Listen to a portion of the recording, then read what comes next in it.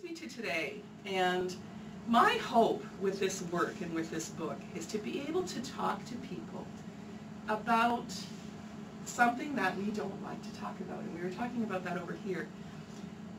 Death is just not something that we talk about at the coffee shop, is it? It's something, our culture is anti-aging. Everything is Botox and whitener and tone it up, and we don't talk about aging, let alone dying, because we just don't talk about it. And I think that we as a culture need to be able to look at that, and for sure, people in healthcare, um, no matter what our belief system is, no matter what we work out of, I think we have to be comfortable with our own, do our own inner work around our mortality so that we can help people feel comfortable talking about it too. And we're often the ones that have to broach the subject, but often the ones that feel uncomfortable.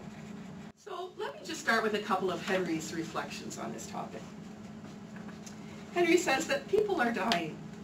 Not just the few I know, but countless people everywhere, every day and every hour. Dying is the most general human event, something we all have to do. But do we do it well? Is death more than an unavoidable fate that we simply wish would not be? Or can it somehow become an act of fulfillment, perhaps more human than any other human act? Is death such an absolute end to all our thoughts and actions that we simply cannot face it? Or is it possible to befriend our dying gradually and live open to it, trusting that we have nothing to fear? Is it possible to prepare for our death with the same attentiveness that our parents had in preparing for our birth? Can we wait for our death as for a friend who wants to welcome us home? The actual term befriending death comes from Carl Jung's work, where he talks about how we have to befriend our shadow. And um, Henri talks about this Richard Hillman, who he taught at Yale, and they, they, Hillman was a Jungian analyst, and so they were talking about this in class, and he said, you know, it's, it's about befriending. Said, isn't that true? Isn't that the thing that we really fear the most is dying? And that until we can befriend that, then we can't live outside of that fear. He says this, it seems indeed important that we face death before we are in any real, real danger of dying, and reflect on our mortality before all our conscious and unconscious energy is directed to the struggle to survive. It's important to be prepared for death, very important, because if we start thinking about it only when we're terminally ill, then our reflections will not give us the support we need. And isn't that true? We just kind of, well, I'll, I'll, think about it later when I know I'm dying for sure, and I'll think about it. Mm-hmm. And when that happens, when somebody tells us we have cancer or whatever, all of our energy goes into surviving. We don't want to start thinking about dying now. So we all need to do this reflecting in our life and work through it as we age, as we journey with others. And I think it's just really important work for all of us. Probably the one central theme in Henri's writing and that's the kernel of the book.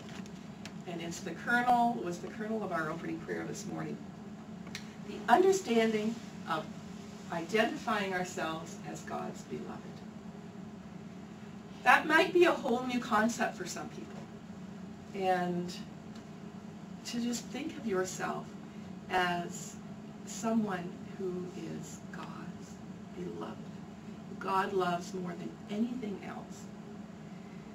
Henri says that the spiritual life requires a constant claiming of our true identity. And our true identity is that we are God's children, the beloved sons and daughters of our Heavenly Father. And Jesus' life itself reveals to us this mysterious truth. Because after Jesus was baptized in the Jordan by John, as we heard this morning, he was coming up out of the water. He saw the heavens torn apart and the Spirit like a dove descending upon him. And the voice came out from heaven. You are my son, the beloved, my favor rests on you, or with whom I am well pleased, depending on the translation. And this is the decisive moment of Jesus' life, Henri says.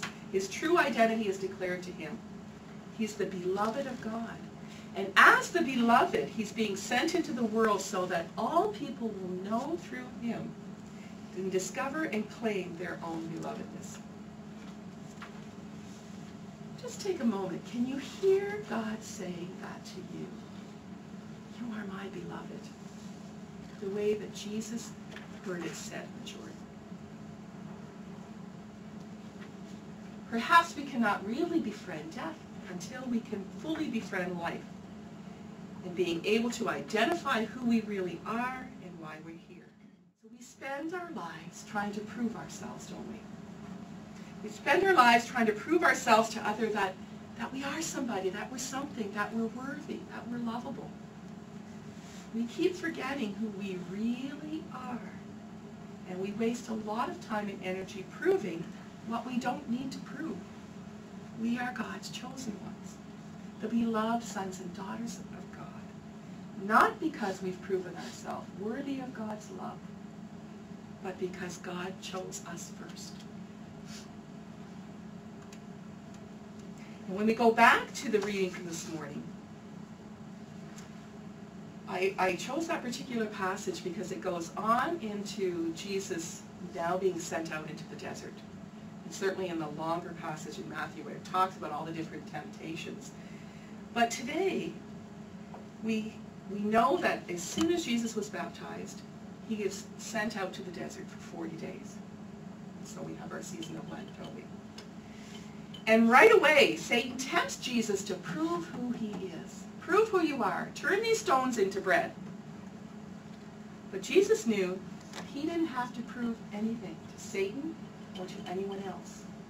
Because he believed he was the beloved. Because he heard the voice of the beloved say that to him. You are my beloved. So he knew that he didn't have to prove himself to anyone. And Henri says, you were the beloved before you were born. You will be the beloved after you die. That's the truth of your identity. That's who you are, whether you feel bad or not bad, whatever the world makes you think or feel or experience. You belong to God from eternity to eternity. And life is just an interruption of eternity and just a little opportunity for a few years to say, I love you too.